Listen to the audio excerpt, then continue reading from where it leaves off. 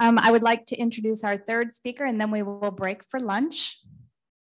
Uh, Dr. Dominic D'Agostino is the Associate Professor, Department of Molecular Pharmacology and Physiology from the University of South Florida, the Morsani College of Medicine and Research Science. He is going to talk about optimizing ketogenic nutrition for brain health. It was mouthful. Thank you so much for being here. Thank you, Anne, for the invitation uh, to be here today. I want to thank the organizers and uh, the board for extending the invitation to me. Uh, hopefully you all can hear me back there. Yeah, and, and I want to thank you all for being here, uh, especially the caretakers, because you guys are the people in the field, uh, you know, in the trenches, you know, doing, doing the work. And uh, we're going to shift gears a little bit, have some tough shoes to fill to follow.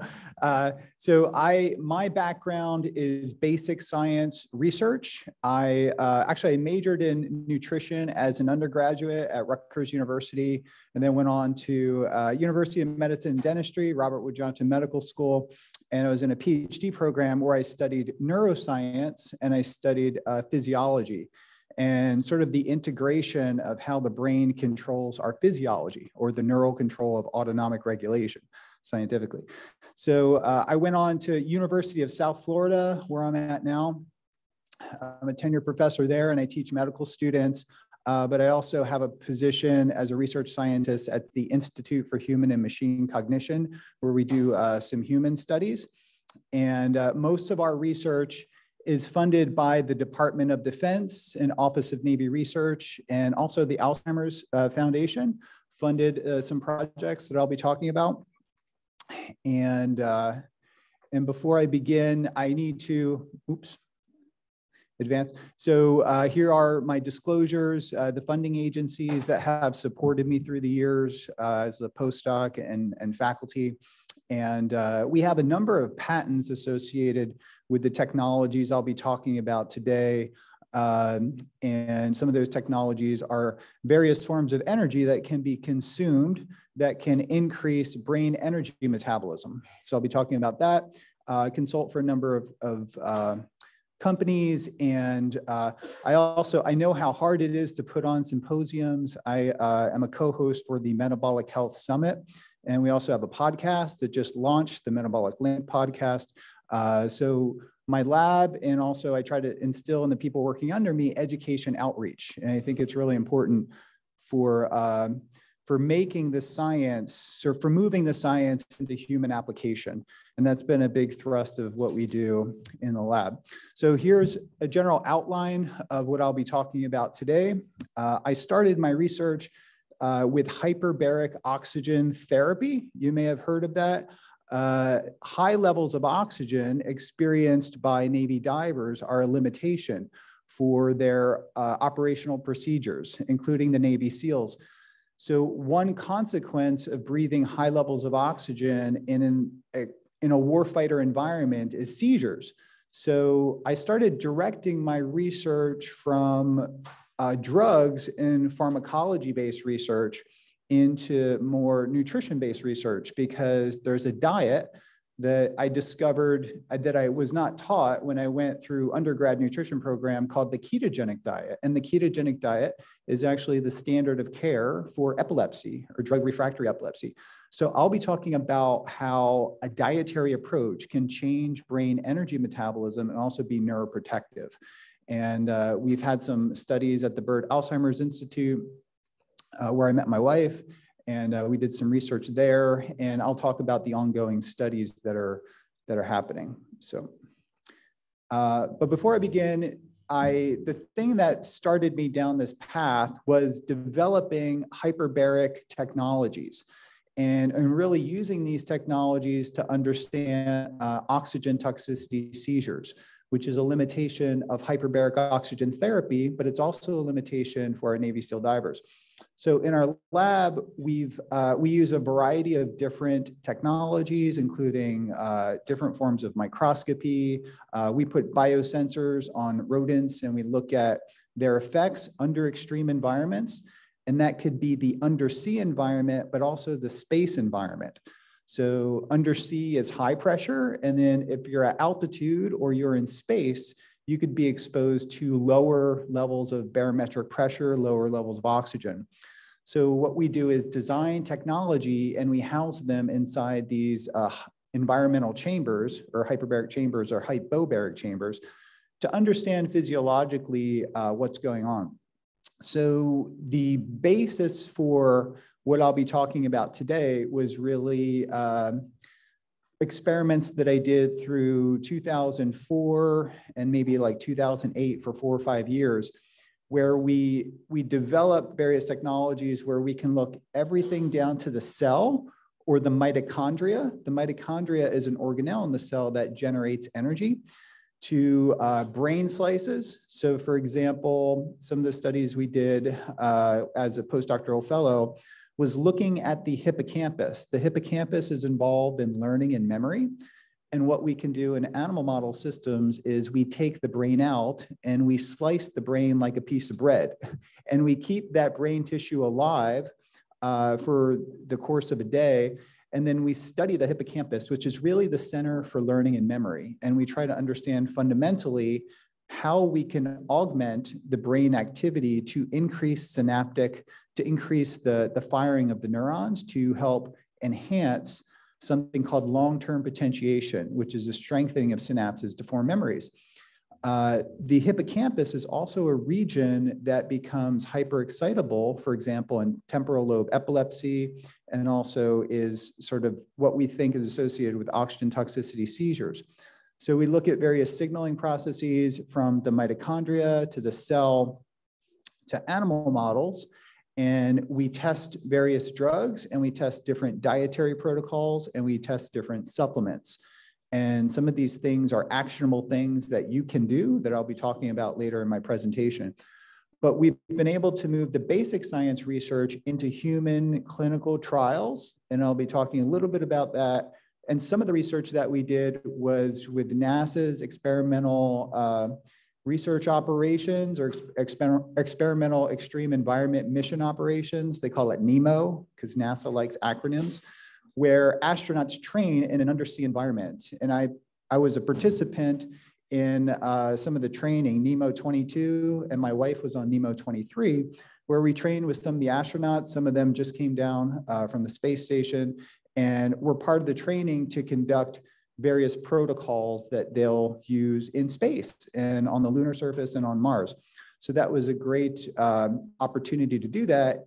And during this process, I stayed in a state of nutritional ketosis and, and did a variety of different cognitive and functional tasks um, with the sort of basis that being in a altered metabolic state can provide metabolic resilience in these extreme environments. And I think it has direct applications uh, for managing neurodegenerative disorders, cognitive disorders, and that's sort of the foundation of the science that I'll be talking about today. So let me see if this comes off. So uh, one of the areas of research that really inspired me was a study that was done uh, at Harvard Medical School. And this was done by George Cahill. So I had the opportunity to talk with George Cahill uh, prior to his passing in 2012, I believe. And in this particular study, prior to 1967, they thought the brain could only use glucose as an energy source and that we needed to eat carbohydrates and sugar to maintain brain energy metabolism. But in the context of fasting, this changes uh, considerably. So in this particular study, they fasted subjects for 40 days. So no food, no, no energy, no calories for 40 days. So this type of experiment could not be replicated today because there's an ethical board review called the IRB, and they would never approve any kind of study like this today. But they fasted subjects for 40 days, and um, the interesting observation was that their ketone levels, which I'll be talking about, uh, started to elevate. Uh, after about seven to 10 days, the levels of ketones in the blood exceeded the levels of glucose.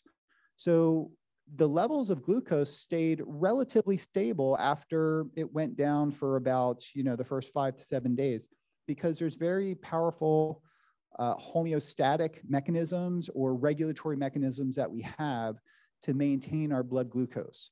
And that's uh, the physiology that we study in our lab. But the important point is that the brain has an incredible capacity for what I call metabolic flexibility. So in fasting state or when we go on a ketogenic diet, the ketone bodies that I'll be talking about, which are energy molecules, become the predominant fuel for the brain. And after, in a, in a fed state, we're all going to have lunch after the talk, and it probably won't be ketogenic, but in a fed state, typically our brain uses glucose 100% of the time. Only in the context of prolonged fasting. After about three to four days, then the metabolic shift happens where we liberate fat for energy. Fat does not cross the blood brain barrier. It gets converted to water soluble fat molecules that get chopped up and they get into circulation and then they can get to our brain. And these are called ketone molecules. And after about a week of fasting, about 70% of brain energy metabolism is derived from these ketone molecules. So we think that the ketogenic diet or fasting is not very uh, feasible to do, but that we could harness the energies of, of the ketone molecules and use them for a wide variety of different uh, applications. In an extension of this study that was published uh, that I found only in uh, a textbook, because I assume maybe this particular aspect of the study was not IRB approved, they injected insulin in subjects that were fasted, typically a level of insulin that would be fatal. So these subjects had not eaten any food, and they infused 20 IUs of insulin uh, to the subjects, which caused severe hypoglycemia. So the level of glucose that you all have right now is about five to maybe 10 millimolar. Uh, typically in America, we use milligrams per deciliter, so about 100 milligrams per deciliter. They injected insulin and dropped the level of glucose in the subjects down to about uh, 20 to 15 milligrams per deciliter of insulin. And if you're a diabetic and you're checking glucose levels, you know, typically you want to get about 80 to 90, and that's a good gl glucose control. And when you get below 50, you start experiencing severe hypoglycemia.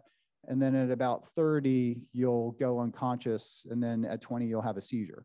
So these subjects, what was interesting in these fasting subjects, they were asymptomatic for hypoglycemia. So it was a very dramatic demonstration that elevating ketones through fasting and then administering insulin, which uh, causes your muscle cells to take up glucose, but it limits glucose availability to the brain. Uh, in the context of fasting and administering insulin, the ketones provided brain resilience. So they became the alternative energy substrate for the brain. And prior to you know the mid 60s, we, we didn't think this was that ketones could do that. So in the uh, in my medical lectures, you know, I teach the pathophysiological hypoglycemia, and typically these would produce. But all subjects lived in this study at Harvard, and uh, and they were asymptomatic for hypoglycemia. So this uh, the work that was done by George Cahill and Richard Veech at the NIH and um, uh, Theodore Van Itallie, who's in his mid 90s now. All these guys were icons and they studied uh, ketones for some time, and I was able to connect with them. And, uh, and they really instilled in me as a medical educator that ketosis was not something that was bad. Ketosis is only bad in the context of diabetic ketoacidosis. And that happens in the context of uh, type 1 diabetes, where there's a deficiency of insulin if our body cannot make insulin, then we lack the regulatory control to basically excrete ketones and to regulate the ketogenesis process. What I'll be talking about today is distinctly different than diabetic ketoacidosis. We, we're going to call it nutritional ketosis. So, in the context of nutritional ketosis, this could be achieved through carbohydrate restricting uh, ketogenic diet, which is a diet that's restricted in sugar and carbohydrates. It's moderate in protein, adequate protein, and uh, it's actually very high in fat. So this per, uh, produces a physiological state that changes our energy metabolism systemically, and it also changes our brain energy metabolism. So the ketogenic diet is actually used uh, for drug-resistant seizures in the pediatric population. And studies that were done at Johns Hopkins showed by, uh, by Dr. Freeman and then later uh, Dr. Eric Kossoff, who is a friend and colleague of mine. He runs the epilepsy clinic at Johns Hopkins. They demonstrated that about 60% of pediatric patients will respond to the ketogenic diet after all drugs fail or multiple drugs fail to control seizures, then you put those patients who have failed all drugs on a ketogenic diet, pediatric patients, and about 60% of their, them have seizure control. About 30% of these patients will have over 90% seizure control, and about 10 to 15% are what we would call super responders, which means they have a complete absence of seizures. They're 100% seizure free, and they can ultimately wean off of the diet and it does not cause rebound seizures. So this is evidence of a diet not only changing brain energy metabolism, it changes the neuropharmacology of the brain, it changes uh, the neuroinflammation state of the brain, but it repairs the brain so you could get off of the diet and never have a seizure again. So a meta-analysis was done that this diet can also work in adults. It's a little bit less uh, efficacious uh, due to probably compliance problems, and the pediatric population is just more responsive to it. Uh, Dr. Kossoff's book is uh, Ketogenic Diet for um, Ketogenic Diet Therapies. Uh, in the, the first version of the book that I read when I was a postdoc was really focused on epilepsy, but there has been an expanding application of the ketogenic diet beyond epilepsy, and that has really been sort of the focus of our lab. Um, in the, the late 2000s, I connected with a, a fellow in the UK, Mike Dancer, and Mike Dancer was an adult with epilepsy and he was going to have brain surgery to remove part of his hippocampus. And then he was put on the diet and it stopped seizures. So he's an adult advocate of the ketogenic diet. And uh, he's been a good friend and um, good friend of mine who's, you know, out in the field having to do this himself because there really wasn't the medical staff to manage him. There are different types of ketogenic diets. The classical ketogenic diet is very high in fat. Uh, there's a modified Atkins diet or modified ketogenic diet. Uh, there's a low glycemic index diet. Uh, and let me see. So the ketogenic diet has many different mechanisms. And a big focus of our lab is trying to understand mechanistically how the ketogenic diet is working. And we've developed various agents that can increase the levels of ketones. The ketone bodies have uh, effects not only as an energy molecule, but they're, they're more like a hormone signaling molecule. There's a ketone receptor. They function to uh, influence gene expression. We call this epigenetic regulation. They, uh, they impact various inflammatory processes called the inflammasome, which can kick off the elevation of other inflammatory molecules. They can suppress that. So we're studying a broad array of signaling effects of these things that our body can make. Our body can make ketones endogenously, and then we have ways to elevate levels of ketones through exogenous administration. And the ketones can function more like a drug, these metabolites can. So the ketogenic diet took a really big increase in, in research and exposure by Jim Abrahams. And I connected with him about 10 years ago. I, I got called to do a TEDx talk, like when I was uh, younger and on the keto, and I wanted to do it on the ketogenic diet. So I reached out to Jim Abrahams, who is friends with Meryl Streep, and Meryl Streep did a movie on the ketogenic diet. It's called First Do No Harm. And I think it's still available like on YouTube. So uh, Meryl Streep's movie was about Jim's son, Charlie. So I connected with the Charlie Foundation early on and talked quite a lot with Jim. And the, uh, the, the conference that we host, the Metabolic Health Summit, we bring Jim and the Charlie Foundation, and a lot of the proceeds go to support that foundation. But Jim was very angry that the ketogenic diet was not offered to his son because his son was put on about a half dozen different medications and they have very significant developmental consequences. And he went to Johns Hopkins and finally got his son on a ketogenic diet, and it completely stopped all the seizures, and he was able to get off all the drugs. So Jim went on Dateline NBC in uh, 1994, and I was a nutrition student at the time. I remember seeing it, But all I remember about the ketogenic diet was that it was this fad diet, and you know, only under extreme circumstances would you do it for pediatric epilepsy. But Jim went on Dateline NBC, got a lot of exposure for the ketogenic diet. This is prior to me having a research interest in the diet, but that really sparked uh, the academic community and the clinical community to do research on this topic. So here's a little thing I put together about the therapeutic applications of the ketogenic diet. So, you know, weight loss, everybody's heard of the Atkins diet. Uh, type 2 diabetes, Virta Health is doing a lot of work on the type 2 diabetes front, and their, their whole motto is to deprescribe.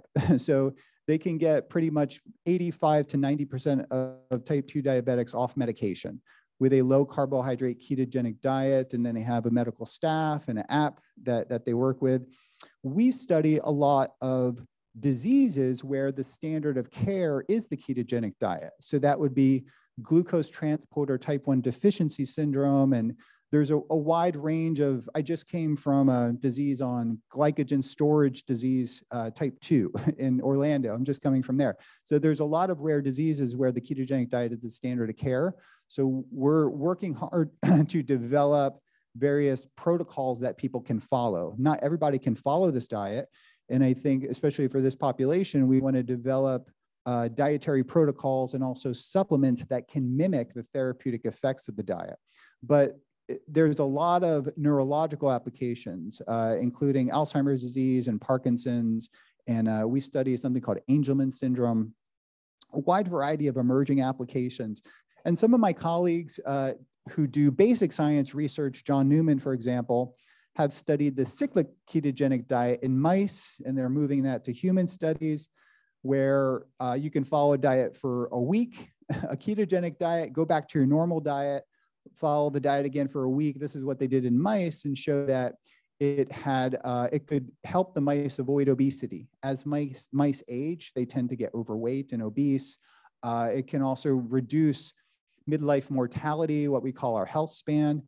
And a cyclic ketogenic diet can prevent uh, a modest uh, prevention of, uh, of memory and also just general enhancement of health span over time. So this is following the diet every other week. So this was one strategy that is often discussed.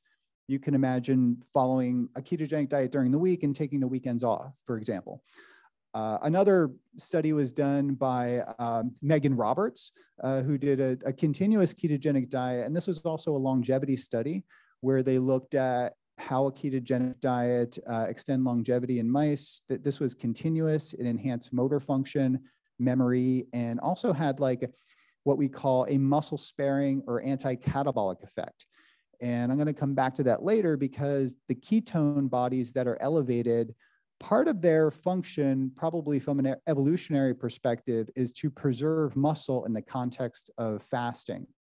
So if we did not make ketone bodies when we were fasting, we would break down muscle tissue to get glucose. We call this gluconeogenic amino acids.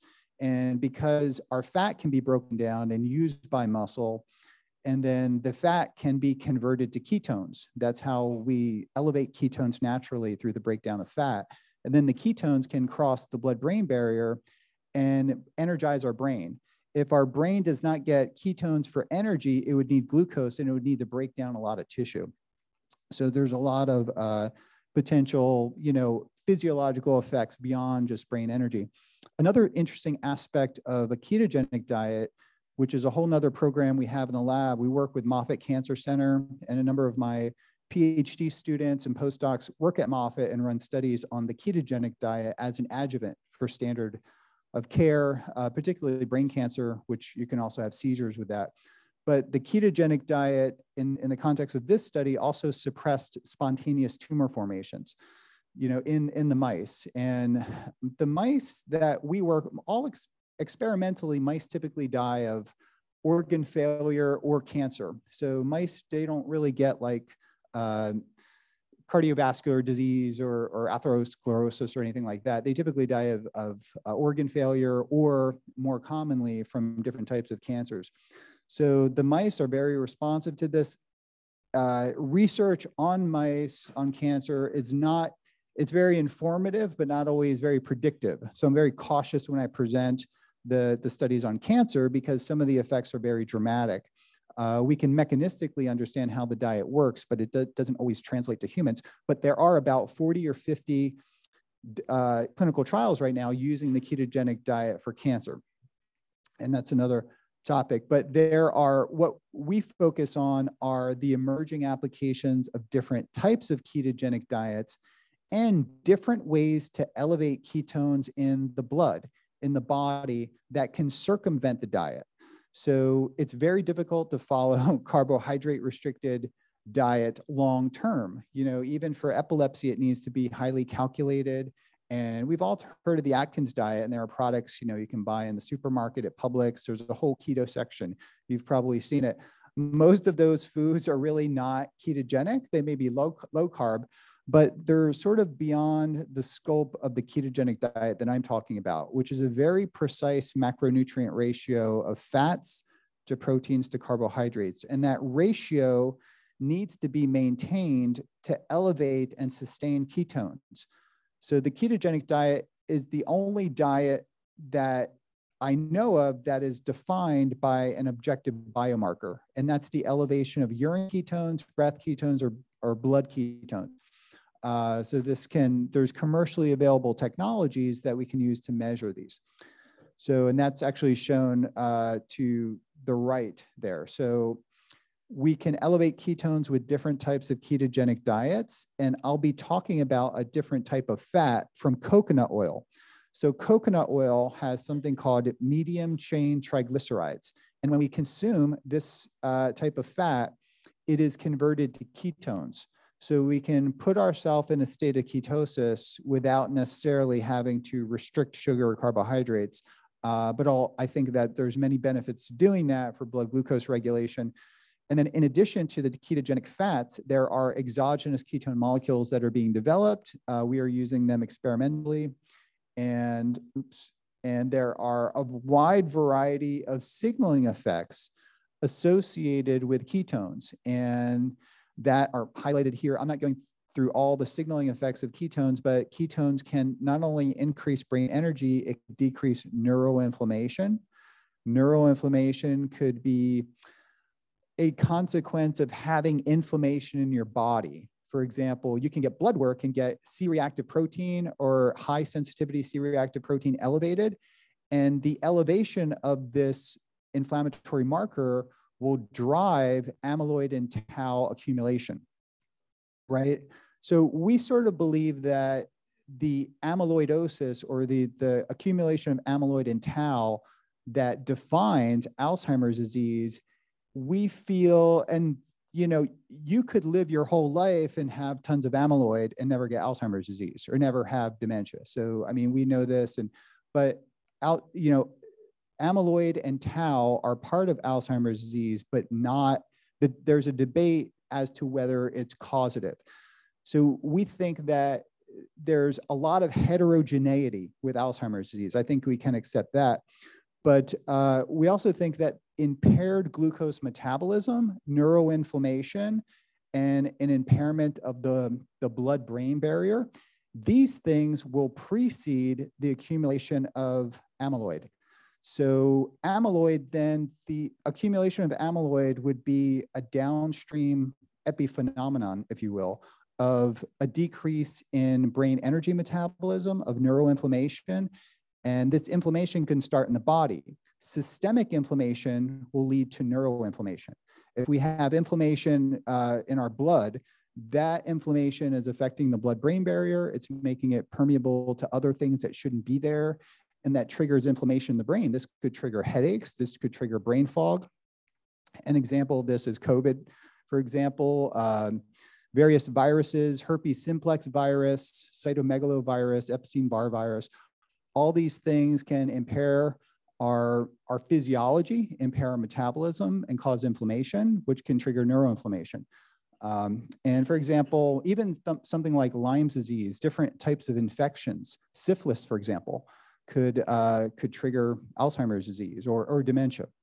So it's important to acknowledge that, you know, different uh, infections could, could be a root cause of this too. But I think the etiology is likely pretty, pretty heterogeneous. we've done studies okay, where we administer ketones in the form of ketone salts or ketone esters to animals. And this has a remarkable neuroprotective anti-seizure effect. So if you remember, you know, the, the thing that put me on this path was looking at seizures. The military wanted to develop agents that could be administered orally that could elevate ketones within a high level, a pharmacological level. And then that could rapidly, for example, be uh, implemented in a Navy SEAL that was going into a mission. When you start a ketogenic diet, it could take up to a week or more to elevate your ketones into therapeutic levels right? So if you, the agents that we work with in our lab, you could administer them orally and then you check your blood within 30 minutes and it looks like you fasted for 10 days. So you can get the elevation that high. And, and when you elevate ketones into that five millimolar range, the brain can use these ketones without any uh, adaptation. So we have the transport processes there. So our brain is basically you know, functioning off ketones immediately after administering these agents. And so we've developed the rationale for using these and we're, we're moving them into different clinical trials uh, for, for humans and for specifically for seizure disorders, but there's also studies with Alzheimer's. So we did a number of animal studies. I won't go into all the mechanisms, but we think there's applications for a wide range of genetic disorders, neurodegenerative disorders, and also traumatic brain injury.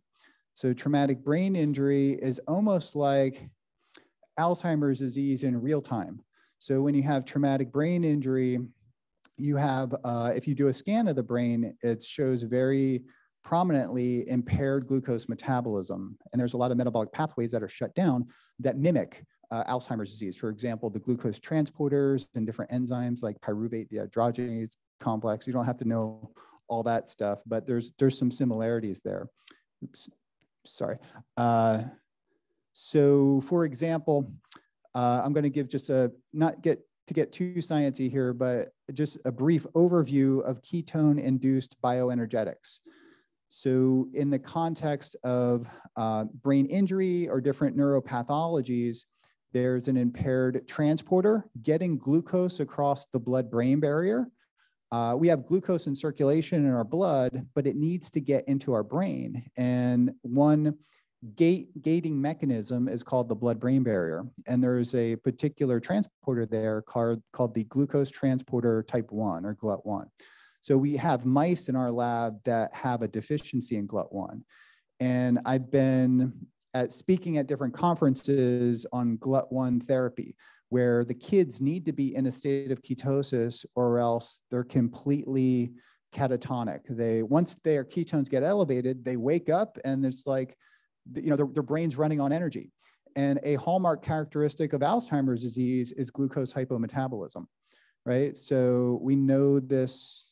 see, so uh, for example, if you do something called a fluorodeoxyglucose PET scan or a, a scan where you radio label sugar, the glucose molecule, and you do these scans on patients that have mild cognitive impairment or Alzheimer's disease, you see, you see a significant decrease in glucose metabolism.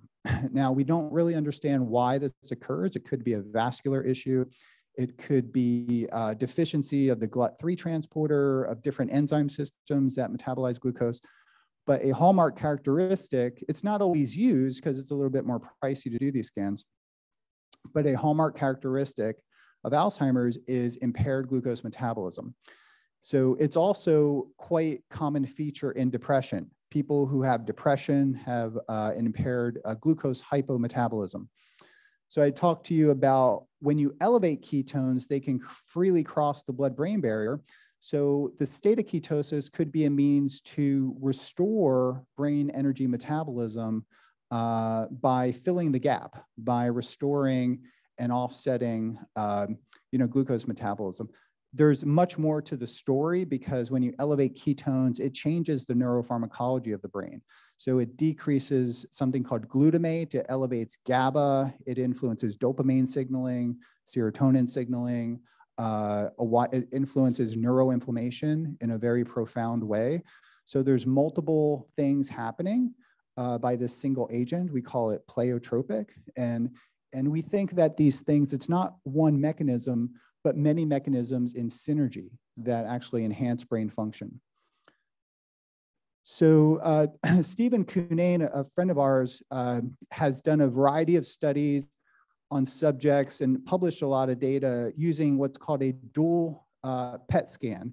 So you could do imaging of the brain to show glucose metabolism, but you could also do imaging of the brain to show ketone metabolism. And what's known is that as we age, we have a progressive decline in the brain's ability to use glucose as an energy source as we age, there's not a decrease in the brain's ability to use ketones over time. So your brain uh, at, at the age of 80 can use ketones at about the same rate that it could when it was 40. So over time, and this has profound implications for the therapeutic use of ketosis over time. So he did a number of studies to show this uh, early on, what really got me interested in this topic, uh, it was about 2008, where in the St. Pete Times, I saw that there was a doctor who was using coconut oil, and maybe she was a speaker here, Dr. Mary Newport. She ran the neonatal intensive care unit in St. Pete, but her husband got Alzheimer's disease. He was being treated at the Byrd Alzheimer's Center at the Morsani College of Medicine at the USF campus. And I was connected with Dave Morgan, who is the director of the Alzheimer's Center there. And he reached out to me and said he wanted to talk to me. So uh, Mary and her husband came to the Byrd, and I observed and going and spending time with her and watching her husband consume uh, MCT oil, which is derived from coconut oil. His tremor stopped, he became animated. And I thought that this was an interesting direction to go into research. So uh, we wrote a grant to the Alzheimer's Association and it was funded and it became a PhD project of, of mine uh, or my students. And actually the book, Mary's book is uh, Clearly Keto. And um, I wrote the forward to it and my PhD student um, who's now moved on and working other places, Milene Brownlow, uh, helped, helped to write the, that, uh, that forward. But an interesting observation that Mary made was that, uh, and her husband improved significantly on the mini mental state exam and also the clock test. And it was documented at Byrd Alzheimer's Center. So the center director wanted to do some, some research on this. Um, so we looked at the mice. So there are problems with mice that have Alzheimer's disease. so the amyloid pathology in mice is quite different than in humans. And the mice that we looked at, they already had fairly advanced Alzheimer's symptoms. It was about week uh, six or eight where we intervened with a ketogenic diet, and we saw dramatic improvements in motor function. We put the mice on something called a rotarod, and they just ran 30% longer. And they were stronger, and many of the blood markers looked to be better, but it did not it did not stop the amyloid pathology from happening. So we did uh, the triple transgenic, double transgenic, we did different animal models, but we started a bit late. But our colleagues at uh, the NIH, Dr. Richard Veech, uh, who was really my mentor getting into this, he was the student of Hans Krebs. If you guys remember the Krebs cycle.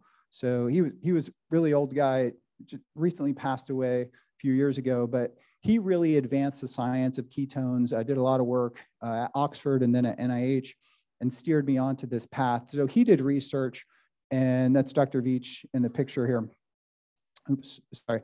And um, so in the mice that they did the intervention, they used a ketone ester and they started at just after weaning. In mice, that's about three or four weeks. And then in, in the context of ketone administration, if you start early enough, that could attenuate significantly, reduce the accumulation of amyloid and tau. So, uh, you know, that, that was significant and it also changed a lot of different metabolic markers. So what was interesting with Mary's observation, Dr. Newport's observation in, uh, in 2008 was that she was giving her husband coconut oil, which is a source of medium chain triglycerides and anybody can get coconut oil. And she started digging into why was this coconut oil working for my husband? And her research found a patent uh, it wasn't published at the time, but the patent was a ketogenic molecule called AC1202. So she was able to pull the patent and look at the ingredient in AC1202, and it was called uh, caprylic triglyceride. And that's just the fancy chemical name for something called medium chain triglycerides or MCT. And you could go to Walgreens, you could go to CVS, you can go to Publix, and they have a whole MCT section there. So you could go and buy this oil and take it. And what was super remarkable about the study that was published with AC 1202 is that it reversed cognitive impairment. So they did the mini, mini mental state exam um, on people who had mild cognitive impairment, and it improved their cognitive scores in a number of different areas. The people who were ApoE4 positive, who had were homozygous, had less of a robust response, at least in that study that was published in 2008. But then they went on, and it was more of like a sample size thing. With a greater sample size, um, the general consensus is that people who have ApoE4, the gene for Alzheimer's, could also benefit from this. So, uh, so okay, think this was the next, sorry about that. So this, there's a number of human studies that have resulted from this early observation, and I would actually credit Dr. Mary Newport for doing the educational outreach. She went to the Alzheimer's Association, uh, we got a grant through the Alzheimer's Association at, at USF and did some work uh, and inspired many of the investigators to actually study this because this was not a drug. There's not pharmaceutical companies stepping in.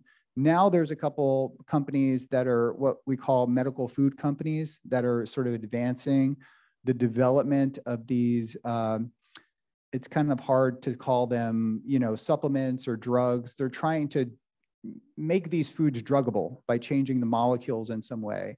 Uh, but still, MCT that you buy at the store is just as effective, I think, as some of these things that are being developed. Uh, so there was a number of studies that were done, and this is a recent review article entitled, I believe this is also open access. So if you just Google the therapeutic role of the ketogenic diet in neurological disorders, a lot of that review talks about epilepsy, but it also talks about migraines and Parkinson's disease but it highlights the, the studies that have been done specifically in this, this content on MCT oil. And actually, there's in every case, there's remarkable effects. Uh, they're not robust, but you have, you know, the data on these monoclonal antibodies that are targeting tau and target or targeting amyloid beta are not robust. We're talking about the same level of efficacy using something that you could go to the store and buy and treating symptomatically. So we're not talking that it's targeting specifically amyloid or tau, but when you consume this fuel, it's actually increasing the availability of energy to the brain. So this is something actionable that you can do. There's, you know, peer-reviewed science, not only on PubMed, but also clinicaltrials.gov. There's about 14 clinical trials looking at this. And it doesn't really get the exposure that it deserves, but it's highlighted in the book Clearly Keto by Dr. Mary Newport. So, you know, the Department of Defense is very keen on what works. so, and they are convinced that ketones have remarkable neuroprotective effects and most of the research on ketones is for athletic performance and creating like the super soldier, increasing endurance and things like that in extreme environments. My uh, my research specifically is actually looking at oxygen toxicity. So we've we've moved the animal model studies into human subject studies that are being done at Duke University in uh, collaboration with the University of South Florida, where I'm from, where we're using a ketogenic diet to reduce oxygen toxicity in working divers, the next phase we'll use uh, the Navy SEALs. So we're using basically surrogates for the SEALs, guys that have good athletic condition, they're willing to do the diet. Uh, and we, we put them on a ketogenic diet for just three days, and we also administer a ketone supplement. And this lowers blood glucose and elevates ketones into that therapeutic range. And we do um, we do blood gases, we do EEG, uh, and we do pulmonary function tests. And we also have them, this is a picture of a guy inside a hyperbaric chamber where we're measuring brain activity, we're doing pulmonary function tests, and he's doing a simulator. So he's flying, I think, all while he's pressurized almost three atmospheres of oxygen. And we basically push him to having a seizure. Don't ask me how we got IRB approval, but they push they push the subject in the hyperbaric chamber until we start to see EEG activity, seizure activity.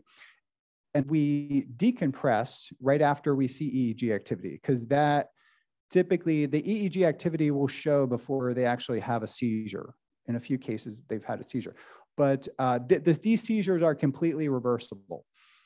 So uh, what we have demonstrated is that similar to the animal studies is that we can delay the latency to seizure. So we could increase not only the, the safety, but the operational performance of subjects that are in these extreme environments. And I think it has, uh, I think it has implications for everybody's in an extreme environment. And as we age, our brain's ability to use glucose goes down. Uh, we're under stress. Stress can cause neuroinflammation. Uh, environmental toxins can cause neuroinflammation. Our diets, many different factors can alter brain energy, metabolism, and neuroinflammation uh, in a way that could be mitigated or attenuated by ketones. So there are side effects to a ketogenic diet, and it's important to understand this that uh, contraindications include pancreatitis, liver failure. Uh, there are different enzymes associated with the transport of fatty acids, fatty acid oxidation disorders, vitamins or electrolyte deficiencies. It's very important to measure this. When we do blood work on people on a ketogenic diet, we also often see a carnitine deficiency. So carnitine is something that your body uses to transport fat into the mitochondria. And your body is burning so much fat that it's depleting some of the molecules that are associated with that. Uh, in bones, bone metabolism in kids, especially the earlier studies with the protein restriction, there's a, a, little bit of a growth impairment, but now we know a little bit more about the importance of protein. So early ketogenic diets were very low in protein, like 8% protein. And it's my opinion that they should be about 15 to 20% protein because uh, you don't want protein uh, deficiencies, especially in a growing kid. Lipid abnormalities too, that has been the big pushback. Uh, LDL and ApoB, something called ApoB, when these get elevated in the context of everything else improving, typically when you go on a low carbohydrate diet or ketogenic diet, most of the cardiometabolic biomarkers that are most important, blood pressure, triglycerides, hemoglobin A1C, your glucose levels, all these things improve. Uh, but sometimes LDL and a marker for this form of cholesterol, ApoB, which is a more indicative of um, a, a, more a better indicator of the bad cholesterol, shall we say, uh, can go up. And, and we don't know what that means in the context of a high fat ketogenic diet. So that, that's the big field of research right now is understanding that not everybody's LDL and ApoB will go up, but a percentage do. So we're figuring out how to deal with that. And that could be simply treated with a low dose of a statin, but then they have problems too. So that needs to be you got to proceed cautiously. And also, women tend to respond a little bit different to the ketogenic diet, especially younger women. We know this from the epilepsy world, is that there's five times more li- likely to be amenorrheic, to, to lose your period or to stop menstruating, in particular, if the protein is low or the calories are too restricted. That can cause amenorrhea. And a reduction if you're a nursing mother uh, lactation can be reduced. And there's some debate as to whether it can alter your thyroid, but I believe that some of the literature on females on ketogenic diet, uh, their hormonal effects tend to be in the context of calorie restriction or in populations that are overexercising. So if you go on a ketogenic diet to lose weight, and you calorie restrict too much and you overexercise, then that could result in lower thyroid and changes in your menstrual cycle. So these are things that are sort of hotly debated and contested. Uh, some people think there is, but if we just go to the epilepsy literature, that women do not always adapt as well as men do to a ketogenic diet or to things like intermittent fasting. So there are different, when we talk about a ketogenic diet, it's important to acknowledge that there are many different types of ketogenic diets, even that are used clinically. So the restrictive classical ketogenic diet versus the modified Atkins diet, also called the modified ketogenic diet. What we're really interested in is using a more liberal version of a ketogenic diet that anybody can follow. Even you could go to any restaurant and basically follow a more liberal modified ketogenic diet by just asking for vegetables and fish or chicken and then adding you know some extra butter or olive oil on the side you would be hitting the food ratios, what we call the macronutrient ratios, that would be similar to a modified ketogenic diet. And that could be used for anything, you know, type 2 diabetes or weight loss, or even, you know, preventing or potentially treating Alzheimer's disease, which is being studied now. But we're really interested in ways that we can further augment the therapeutic efficacy of the ketogenic diet with supplementation. And to do this, look at various biomarkers, including blood glucose and ketone levels. And we know that with, um, with a modified ketogenic diet, we achieve just a low level of ketosis and it doesn't really change. It brings glucose down a little bit. But if we supplement with ketones or MCT oil, which you can get at pretty much any store, we can further lower blood glucose and we can elevate ketones to arrange that the level of glucose and ketones are a similar level in the blood. So this gives your brain two different fuels to draw from. And, and it will prevent your brain from having an energetic deficiency, which could cause brain fog, which can you know, decrease your cognitive function. So it's all about optimizing that fuel flow to the brain. So there's different ways to do that with the diet, but also supplementing the diet with ketogenic agents like MCT oil or ketone salt supplementation, which uh, is an area that we study. And what's really interesting about studying this dietary intervention is that there's commercially available technology. Some of it is relatively very cheap that you can measure your own ketone levels and then adjust the diet and supplement uh, to correlate to optimize the level of ketosis to where you feel good. So some people think that the optimal level is about one to two millimolar in the blood. And these are just some pictures of measurements that we do in the lab. There's a breath meter called uh, Biosense. I think it's made by Readout Health. Abbott Labs makes the Precision Extra. You can get this at any CVS, Walgreens, Amazon.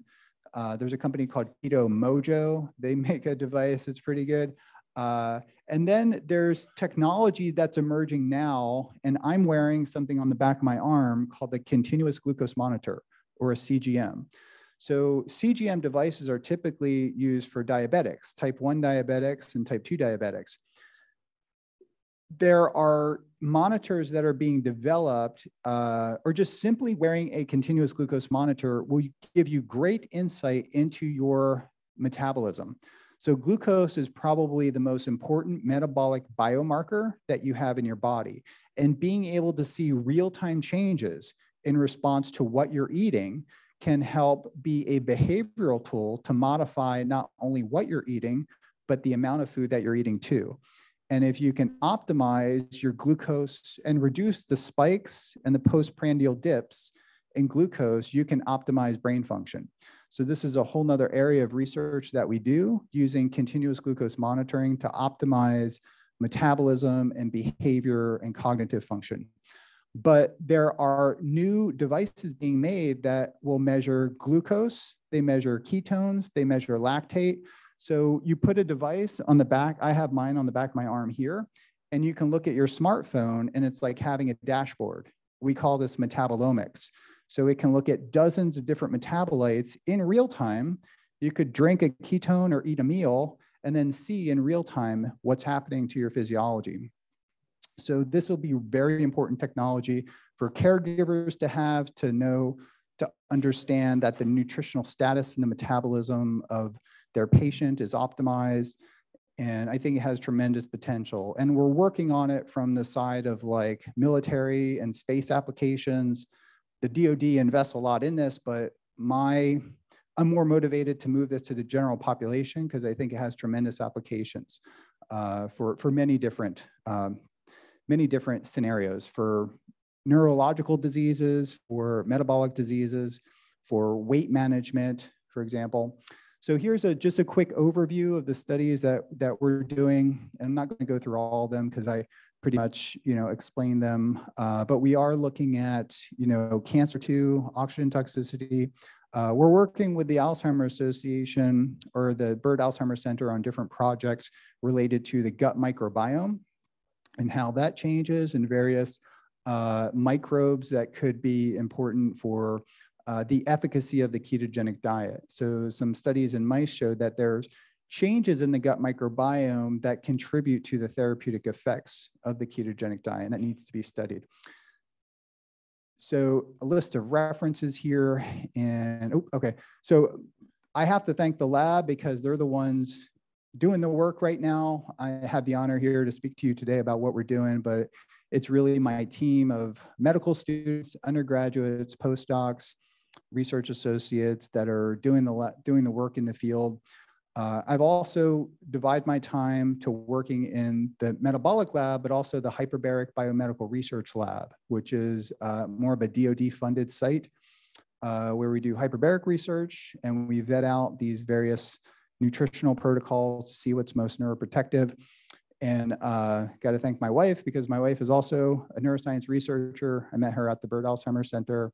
She's there with our cows in the bottom figure. And we have a collaborator in Budapest, Hungary, that is very prolific with looking mechanistically at some of the, the ketone signaling pathways. And I think there are ways, as we advance the science, to package ketones in a pill, if you will, to make the diet more efficacious. And in some situations, there are people that are unwilling and unable to do a ketogenic diet. In many cases, we think that a supplement or various medical foods can be developed that could offer the same advantages that we've seen with the ketogenic diet. So thank you for your attention today and glad to answer any questions.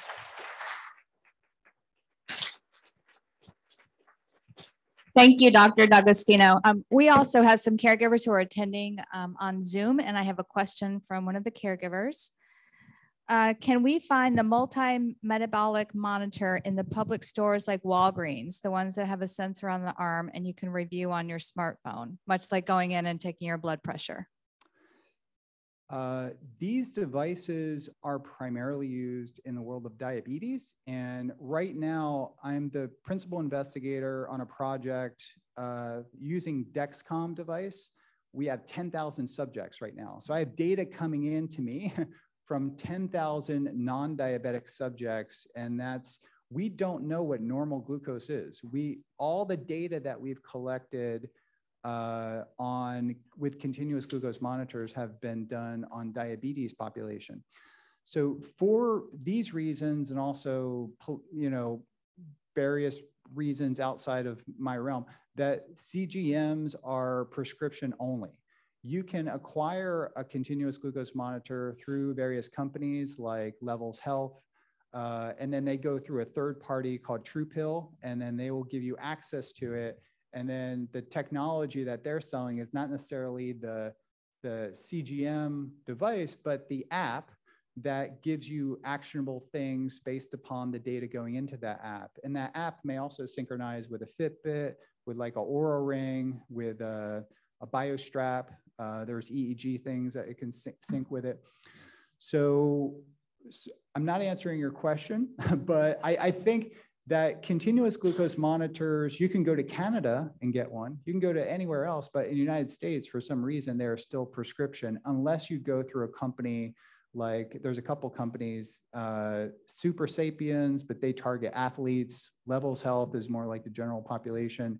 And then you sign up with them and then you do a questionnaire online and then you can get access uh, to the CGM device. Thank you. That way. Mm-hmm. Um, another question, is there a recommended dose of MCT oil daily or multiple times a day?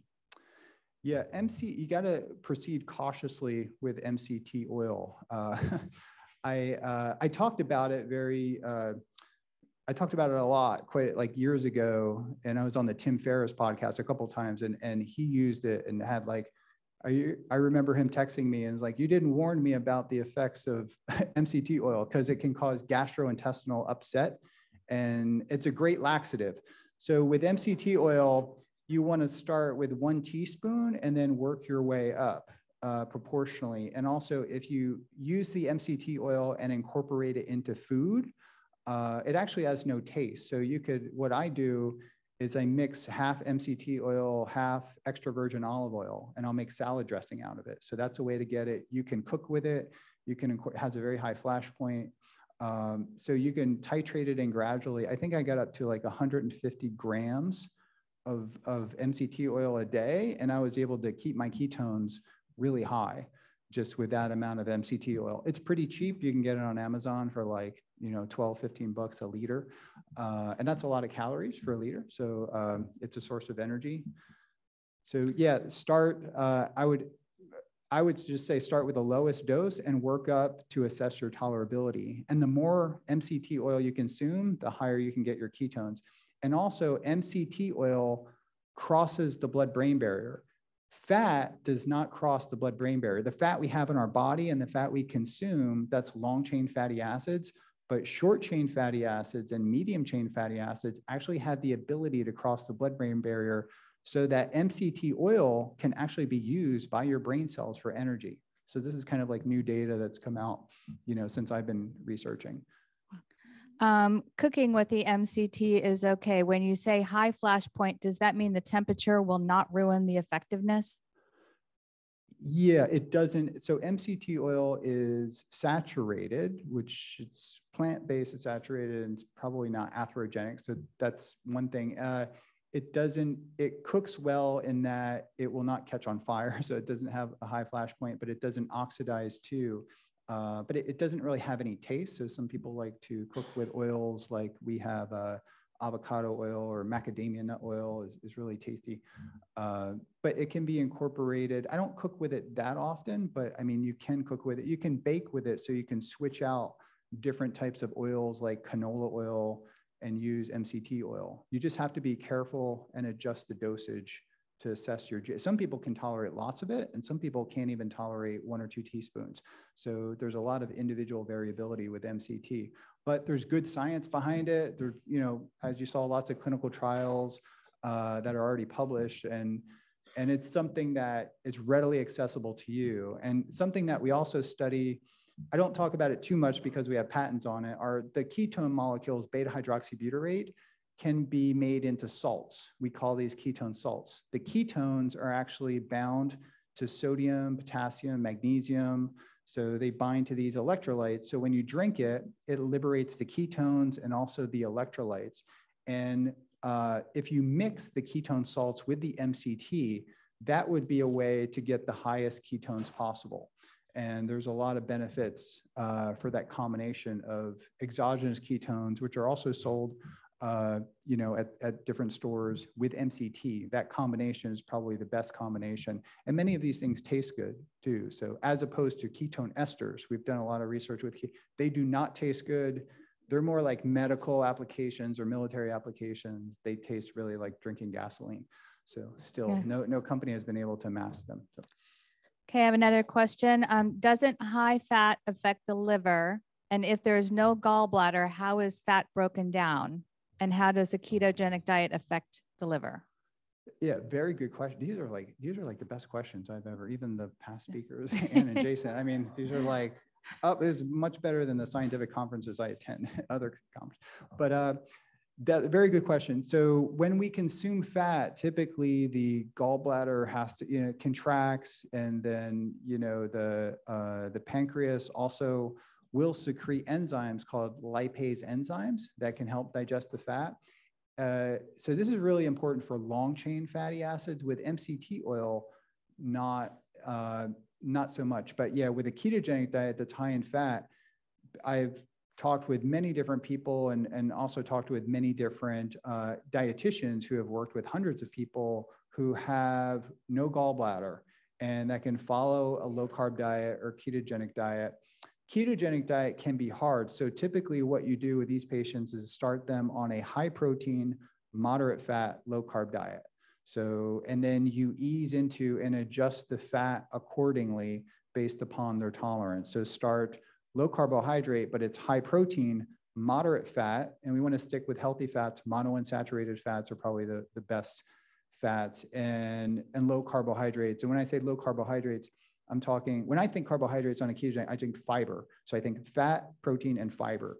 So leafy, uh, leafy green vegetables, maybe uh, non-sugary fruits like uh, blueberries or raspberries, strawberries, um, but avoid things like bananas and mangoes. We have a lot of mango trees, so it's hard to avoid that. But uh, but you know you want to stay away from. It's all about the macronutrients, and if you keep under 50 grams of carbohydrates per day, yes, and of those 50 grams of carbohydrates, about a third of the, if you look on the label or the food, uh, uh, if you look online, for example, of an avocado, you know, it has carbohydrates, but most of it's fiber or even like an apple or blueberries will be a high percentage of fiber.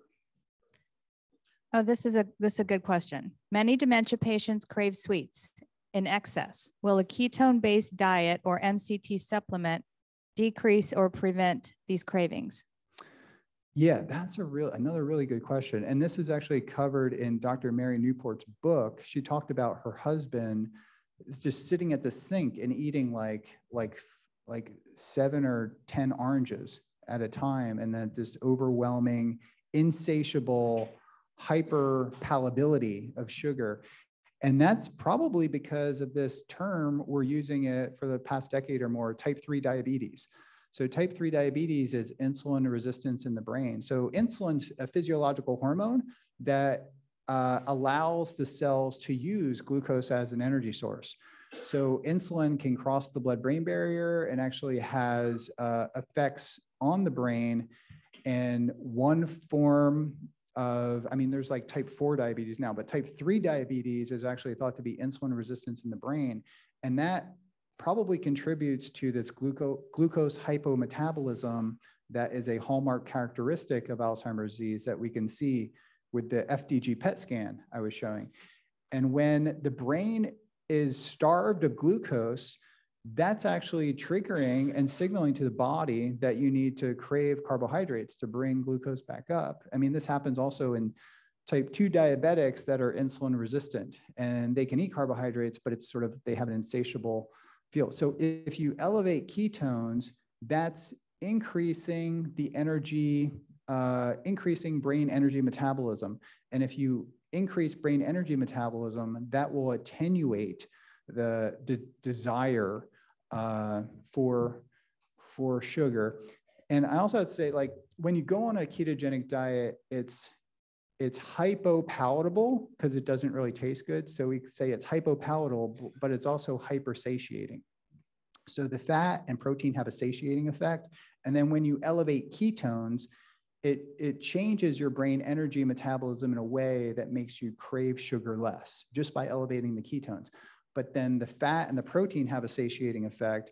I'm an advocate of keeping fiber kind of high in a ketogenic diet, and the fiber has a filling effect. So you have the satiating effect of fiber, fat, and protein all can attenuate that glucose craving. And then when the ketones are elevated too, that changes brain circuitry in a way that attenuates the, the sugar cravings. Great question. Uh, I have a comment on the Zoom. He started his wife on MCT oil about three years ago, and it seemed to have helped. Started off slow, and they added as they went along. Um, another question on Zoom Would you say the ratio of fat, carbs, and fiber are different for women or men on a keto diet? What we've come to know and appreciate more with working with animal models with female is that uh, if you put them on a ketogenic diet their glucose levels drop more than the males. So i think males maybe have a more robust uh, way uh, to, to maintain glucose. We call that gluconeogenesis. Whereas when and i've seen this in some of sometimes in the early days we'd have female students that would try to fast and some of them were literally fainting in the lab or just they were having side effects and then i've never seen it in males maybe because they're too macho to admit it or something but uh but i think female physiology is much more reactive to uh impaired glucose availability, and that could be through fasting or carbohydrate restricting.